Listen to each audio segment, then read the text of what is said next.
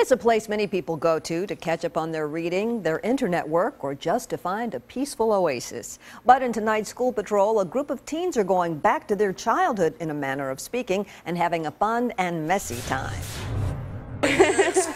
I'll go ahead and open it up. Metro Nashville's main library It's much more fun that way. You get the whole full effect. is normally a quiet place. It feels kind of like almost like Play-Doh. It looks like it's a drop on the table, but you can scrape it up. But for these teens, all the librarians are much cooler than normal. It's really easy to clean up, so we make sure they don't know that it got everywhere because we can just swipe it up. what they're working with is A quarter cup of cornstarch in here to start off in your cup, and then we're gonna take your food coloring. We're gonna do blue. Kayla Mayberry We're making ooze. is one of those students in charge of today's project. That's, that's exactly today's plan. We're going to make ooze and tell them how to make it. And then actually why it's ooze.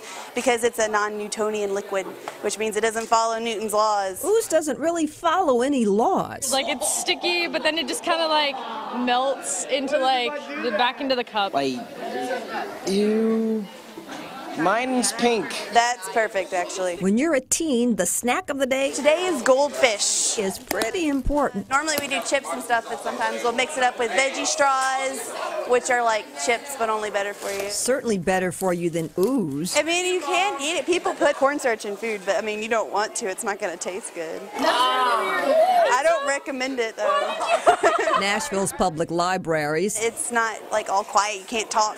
There's there's no talking in the library. You know, librarians say shh. have always had a focus on kids and teens. But no, in here it's like there's all kinds of things. You don't have to be quiet. It's always louder. You have your friends. There's a lot of stuff to do. You have the Xbox. You can play video games. There's movies. Like even we do movies sometimes too. So like there's all different kinds of stuff. The library is even lenient More H2O in your cup. when it comes to the messy stuff. We try to stay in our area and stay away from uh, things that could be damaged. So it is a little surprise, though, that, you know, with all the valuable stuff they have in the room, they let us do something so messy. And lucky for them, cleanup is a breeze. In a few spots, you got to put a little pressure to get it up, but for the most part, it just slides right off. Overall, ooze is a big hit. It brings me back to my childhood. It feels weird. It feels gooey. Like when you touch it, it does feel hard, but then like it feels liquidy. As you can see, hers is on a napkin and mine's on the table. It's relatively the same amount of mess. People think of the library as a place to read and study, but you can actually do really fun things here. The best part about all this, The wipes it's a little bit different. It's easier with water. we're not in charge of cleanup.